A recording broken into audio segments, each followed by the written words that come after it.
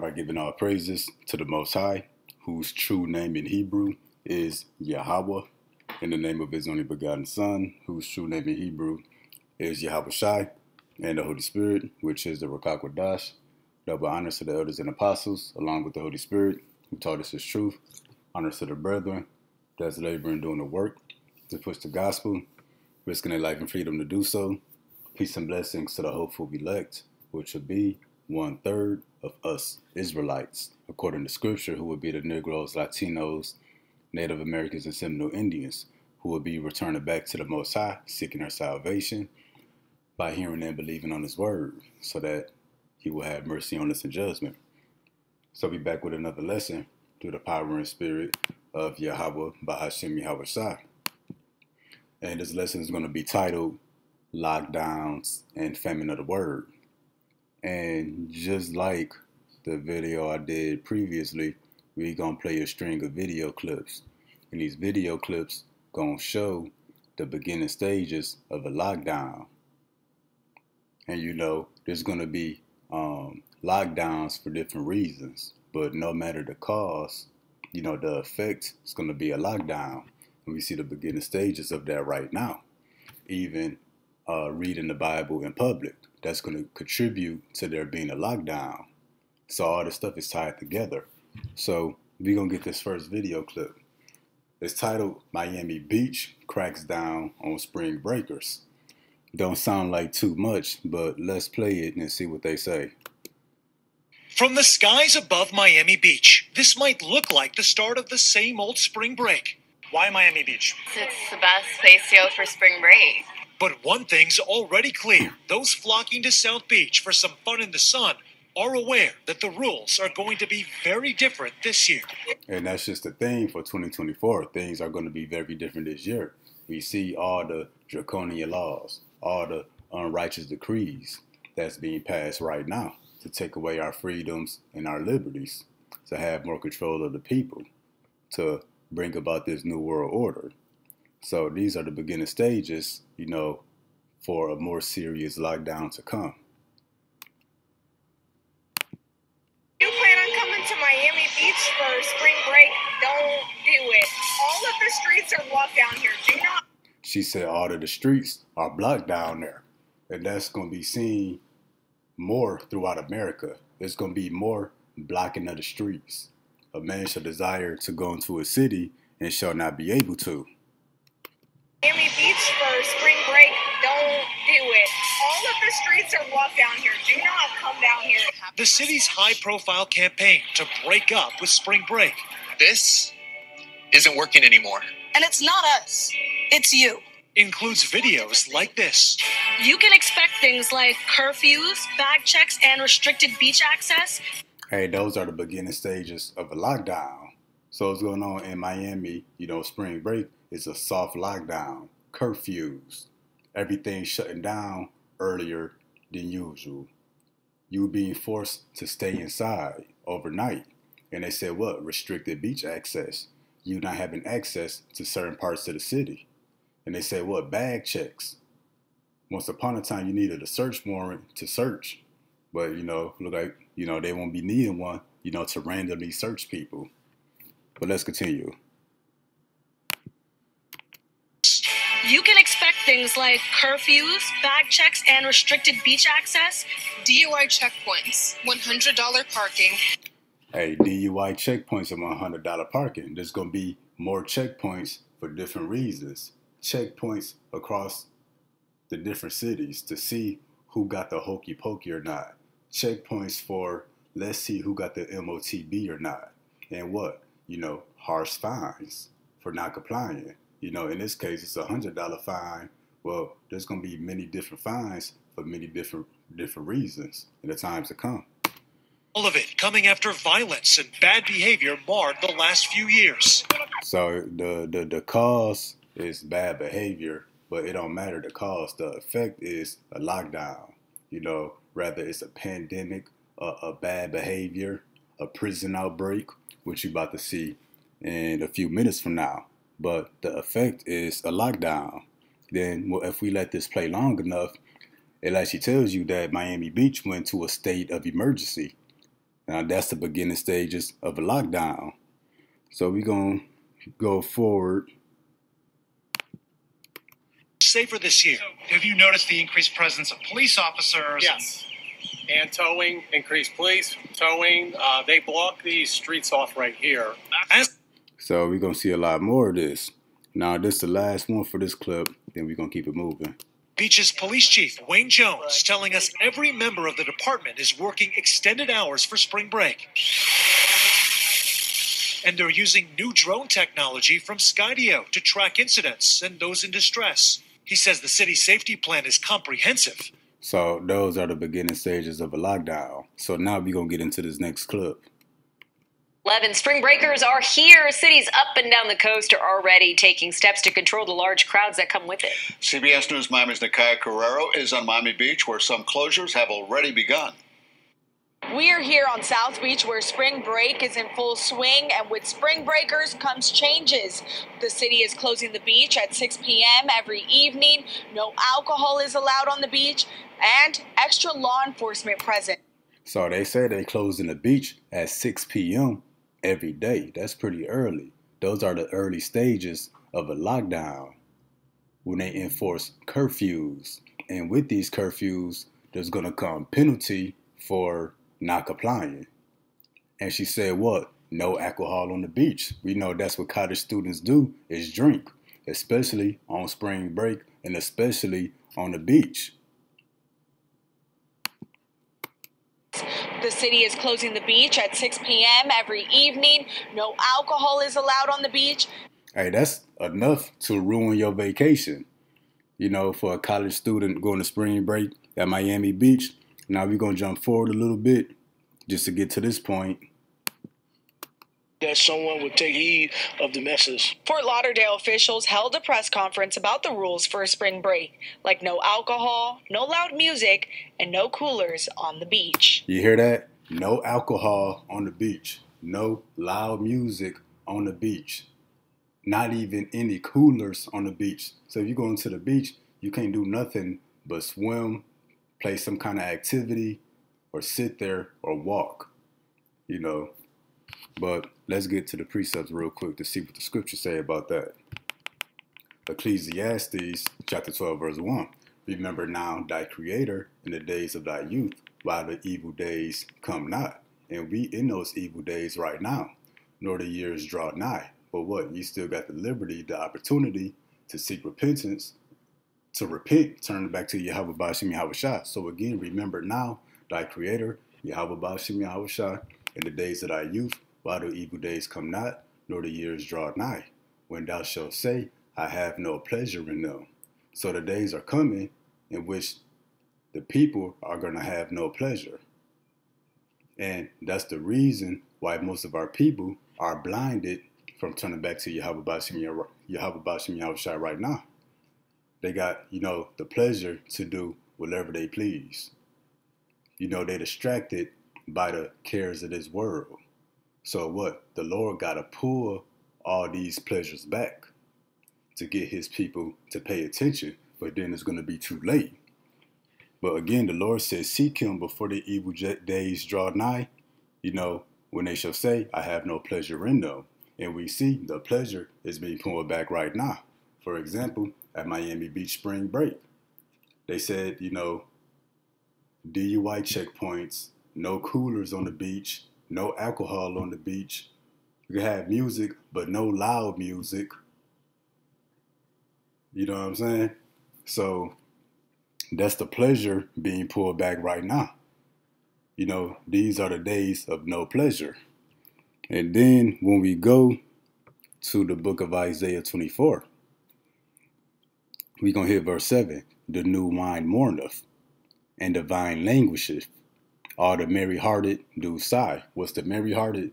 Those who will be in the house of mirth. They in the spirit of gladness and joyfulness when they should be in a time of sorrow, seeking repentance from Yahweh Bashim Yahweh Shah before the evil days, you know, get here, which we are already in them days. The mirth of the tabrets ceaseth. Mirth goes into joyfulness and gladness. And the tabrets will be the sound of happy music. So again, the mirth of the tabret ceaseth, the noise of them that rejoice endeth, and the joy of the harp ceaseth. So yeah, so the noise of enjoyment is ended. They said no loud music on the beach, no alcohol, curfews, beach shut down at 6 p.m. You're going to see that have a ripple effect into other areas, other aspects of American life. Let's continue. They shall not drink wine with a song. And what's this drinking wine with a song? Drinking and dancing and listening to music. This liberty is being taken away from the Miami Beach spring breakers. Because what they say, um, what they say about the beach, let's go back to it. Fort Lauderdale officials held a press conference about the rules for a spring break, like no alcohol, no loud music, and no coolers on the beach. Yeah, they shall not drink wine with a song. And this is going to have a ripple effect in in the times of the blackout. You're not going to be able to hear no music. No electronic devices is going to work or EMP attack.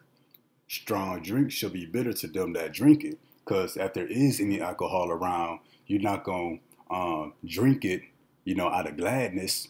You're going to be drinking with a bitter heart. You're going to be drinking it full of sorrows. Now, let's get this in the NLT. The mirth of the tabret ceaseth, the noise of them that rejoice endeth, the joy of the harp ceaseth, the cheerful sound of tambourines is still, the happy cries of celebration are no more. So again, the happy cries of celebration are heard no more. So the sound of spring breakers, partying, dancing, jamming on the beach, that's no more.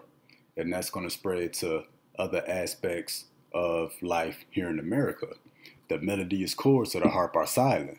So yeah, the cries of celebration, you know, vacationers, spring breakers, holiday celebrators, you know, the sound of a payday Friday weekend, you know, everybody living it up. Oh, that's about to wrap up. Gone are the joys of wine and song. So the joy of drinking and listening to music, that's about to be gone. The store's about to dry up. The power grid about to collapse. Alcoholic drink turns bitter in the mouth. So you're not going to drink it with uh, a joyful heart. You're going to be drinking it uh, full of sorrows. And then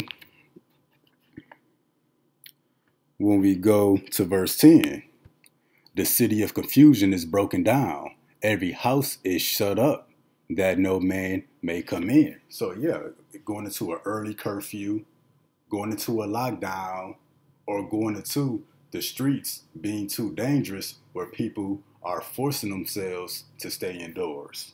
So, with this, we're going to go to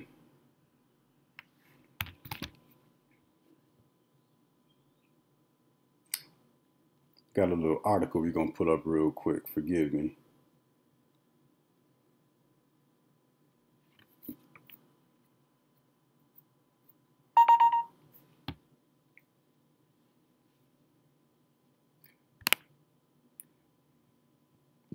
So yeah, this, those are the beginning stages of a lockdown. You know, 6 p.m. curfew, DUI checkpoints, bag checks, no coolers, music, loud music, and alcohol on the beach. Now, this is a, another article that the brothers been going in on. The C367. Reading aloud from the Bible is hate speech to be severely punished. And we're the only people who read the Bible aloud in public. They're the people that's bringing this truth. Well, let's hit Amos 8 and 11. Behold, the days come, saith the Lord, that I will send a famine in the land, not a famine of bread, nor a thirst for water, but of hearing the words of the Lord. Why? Because reading the Bible aloud is going to be considered hate speech. Let's continue. They shall wander from sea to sea, and from the north even to the east. They shall run to and fro to seek the word of the Lord, and shall not find it. So yeah, they shall run to and fro to seek the word of the Lord. They're gonna be coming by our spots where we usually bringing the word out in public, but not gonna find us. They shall wander from sea to sea. This is a metaphor for the internet because you can surf the sea just like you surf the net. They shall run to and fro. Hey, this can also be used to refer to the internet as well because what is Google known as? You know, the internet, you know, it's a search engine. So not only people gonna be physically running to and fro, they're gonna be running these search engines to and fro. And then when your web page is loading, it got the wheel turning to show that your web, that your web page is loading. So they're gonna be running these search engines to and fro, all over Rumble, all over YouTube, all over IG, uh, Twitter, Odysee. They're gonna be running these search engines to and fro, but not gonna find under this word. And so when you punish people for doing something in public, you know those are the beginning stages of a lockdown. In the case with the spring breakers, you know they can't have loud music and alcohol on the beach. Well, in the scriptures, the word is a metaphor. The word is described, you know, as a song, as the new song. And also, you know, wine is used as a metaphor to describe this word as well. So just like they banning uh, loud music and alcohol on the beach, well, they banning this song, the new song contained in the Holy Scriptures, from being sung. Though this is a form of spiritual wine, you know, they banning that. And that day shall the fair virgins and young men faint for thirst. And the thirst for what? A thirst for knowledge. The desire to know what's going on, what they should be doing, how to survive what's coming. What the Bible say about this? Well, we go back to um, Isaiah chapter 24. We're going to start at verse 9 again. They shall not drink wine with a song. That's music and drinking. Strong drink shall be bitter to them that drink it. And when we go down here, um, again, the city of confusion is broken down. Every house is shut up that no man may come in. So yeah, the prophet's gonna be uh, shut up in the house too. And this is the point right here. There is a crying for wine in the streets. All joy is darkened. The mirth, the happiness of the land is gone. What's that cry for wine? Well, you can just bet that people at the beach gonna be physically complaining and upset about not being able to drink alcohol on the beach. So this could be literal, but you know what it really means that there's gonna be a, a cry for understanding what's going on. That's a cry for wine, you know, what's going on. But also too a cry for hearing his word. You know, back to Amos 8 and 13, in that day, the famine of the word, the virgins and the young men are going to faint for thirst. So that's why it'll be a crying for wine in the streets. You know, you're going to have, you know, the people that's out of their mind, you know, upset about not being able to drink and have alcohol in certain places. But it's going to be more people who desire to know what's going on, and there's not going to be any answers out there. So all joy is darkened. You know, that's why they banning alcohol and music from certain places. Curfews, fines, DUI checkpoints, and the mirth is gone from the lane. So we got another video right here that we're going to get into.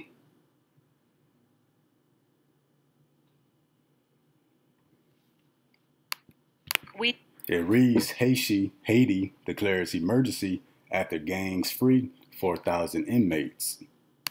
Begin in Haiti. A 72 hour state of emergency has been declared in Port au Prince. And so, a state of emergency is the beginning stage of a lockdown. If things don't get better, you know, a lockdown is going to have to follow The rounds after armed gangs carried out two serious jailbreaks. The BBC has been told the vast majority of inmates held the capital's main prison have escaped. Some 4,000 men. Gangs who now control much of Port au Prince broke into the jail in the early hours of Sunday. At least 12 people have been killed in the unrest. This latest upsurge in violence began on Thursday when the country's Prime Minister Ariel Henry travelled to Nairobi to discuss sending a Kenyan led multinational security force to Haiti. You heard that? A Kenyan led um, multinational security force. In other words, UN troops was coming over here to America. Except in America, it's going to be a Chinese led multinational security force. Minister Ariel Henry travelled to Nairobi to discuss sending a Kenyan led multinational security force to Haiti. For more, I spoke to Harold Isaac, who's a free. So, yeah, pretty much you got, you know, prisoners breaking out of prison in Haiti. You know, Haiti being overrun by these gang members. Well, that's what contribute to Isaiah chapter 24, um, verse 10. The city of confusion is broken down. Every house is shut up that no man may come in. So people gonna be shut up in the houses because of a curfew, because of a lockdown, or a blackout, or the streets of America just being too dangerous, too much chaos breaking out. But also too, we're gonna go to back to Ecclesiastes chapter 12, we're gonna hit verse 3. In the day when the keepers of the house shall tremble. So over there in Haiti, the keepers of the house, the prison guards, the prison security, they trembling right now. Well, that's gonna happen here in America. And the strong men shall bow themselves, they gonna take a knee. And the grinders cease because there are few and those that look out of the windows be darkened. You, a metaphor for, you know, looking out the window and you see all hope is lost. Or you could look out the window and it literally be dark because of a blackout. And the doors shall be shut in the streets. Yeah. When the sound of the grinding is low, he shall rise up at the voice of the bird, and all the daughters of music should be brought low. So yeah, the doors gonna be shut in the streets because of the curfews, the lockdowns, the streets of America being too dangerous, you know, to be outdoors. But also too, we're gonna hit Second Esdras chapter 15, verse 15. For the sword and their destruction draw nigh, and one people shall stand up and fight against one another and swords in their hands. Yeah, because all these prisoners that just broke out of Haiti, where do you think they about to go? they about to come to America. Because what people don't know, that Haiti is pretty much a third world country after the earthquake. And this is what their brother Kalab was telling me. And you got prisoners dying from unsanitary conditions in the prison. All kinds of hepatitis, all kinds of other diseases killing them up. So it's not like that they rebels, they just want to break free. Yeah, every prisoner want to break free, but they breaking free trying to save their life from those horrible living conditions, from all the disease outbreaks behind the bars out there. And where you think they're about to come? Where everybody else coming to America. They coming here for judgment, to bring judgment on this place, to have judgment executed on them. So this could contribute to people fighting with swords in their hands. For there should be sedition among men. That's happening down there in Haiti. That's happening here in America. And invading one another. They should not regard their kings nor princes, don't give a damn about the government or law enforcement. In the course of their actions shall stand in their power. Yeah, because law enforcement gonna be outgunned. A man shall desire to go into a city and shall not be able. So yeah, that's a lockdown. You know, rather because it's a prison outbreak, a massive influx of illegal immigrants, or if it's if it's a spring break lockdown for one reason or another, it's a lockdown. Or, for example, if it's people out there reading the Bible, they're going to start shutting down um, different parts of the city to keep us from being out from being out there. And then last video I got is from the brother. It's from the brother um, Ibar Yahabada. I believe this is uh, GMS uh, Tampa out there in Florida. You know, he posted this video or he did a lesson on it, and this is some device that the Chinese got. But let's let this play real quick the video.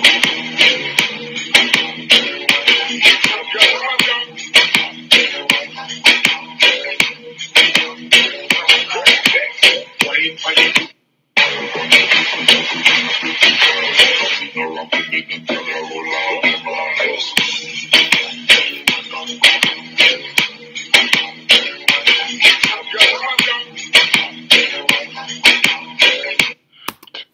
know that Klaus Schwab said he admires, you know, this whole system that China is building.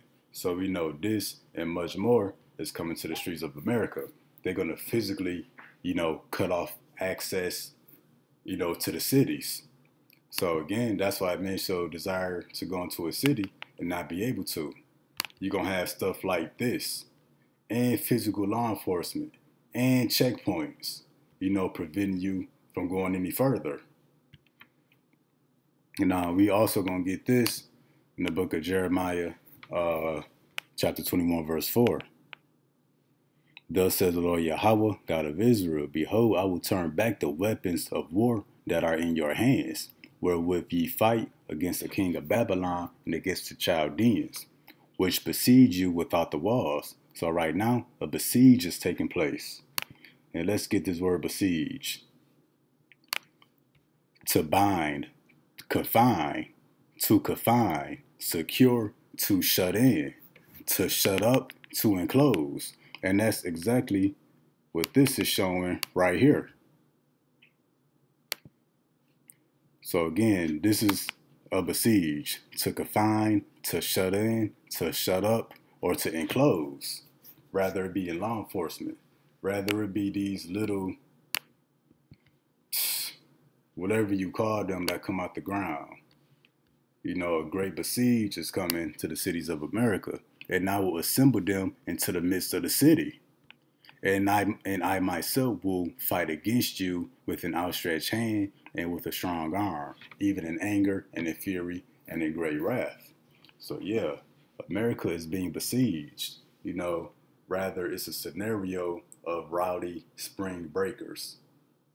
You know, rather it's the event of a prison outbreak. What it is, they got to get everybody indoors first. And those are the beginning stages of a lockdown. Then once they made some progress, you know, then they're going to start enforcing uh, more strict measures on that lockdown. You know, there's going to be reinforced law enforcement, drones, mechanical dogs, whatever you call these things that come up from the ground that we was just showing. But again, you know, lockdowns and famine of the word come into America. So Lord, wouldn't that was edifying. Till next time, Shalom.